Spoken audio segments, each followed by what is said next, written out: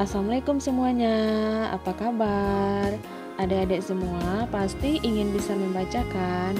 Sebelum bisa membaca, terlebih dahulu kita diperkenalkan dengan huruf-huruf alfabet. Apa itu huruf alfabet? Simak videonya ya. Nah, ini dia huruf alfabet mulai dari A sampai Z. Ada huruf besar, ada huruf kecil, ada huruf vokal, ada huruf konsonan. Semuanya ada 26 huruf. Yang perlu diingat huruf vokal terlebih dahulu ya. Apa saja itu? Ada A, I, U, E, dan yang terakhir ada O. Huruf selain A, I, U, E, O disebut dengan huruf konsonan. Ayo kita lihat apa saja hurufnya. A. Ayam B. Bebek C. Ceri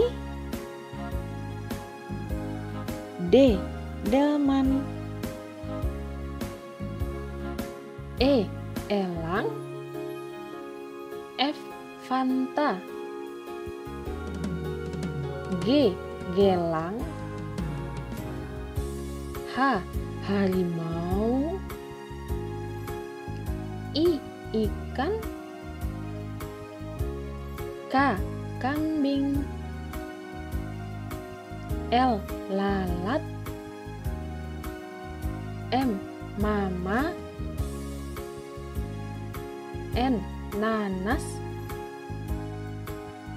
O ombak. P perahu. Q queen. R raja S. Semut T. Teman U. Ular V. Venus W. Wajah X. Senia Y. Yoyo Z zebra. Nah, di sini ada beberapa huruf yang mirip.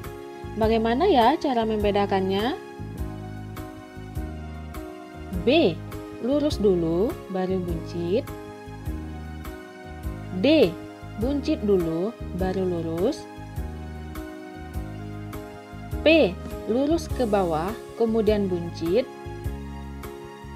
Q. Buncit dulu, baru lurus ke bawah. Nah, sudah tahu kan perbedaannya? Kemudian ada M berkaki tiga, N berkaki dua, W berkaki tiga ke atas, U berkaki dua ke atas. Kalau ini juga sudah tahu kan?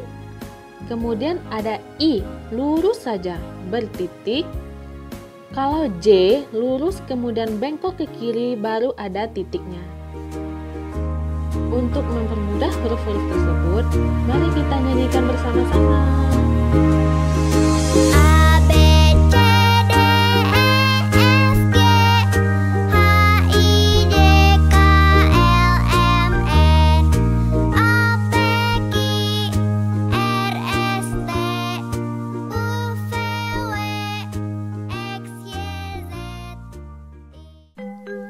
Sekian dulu video kita kali ini.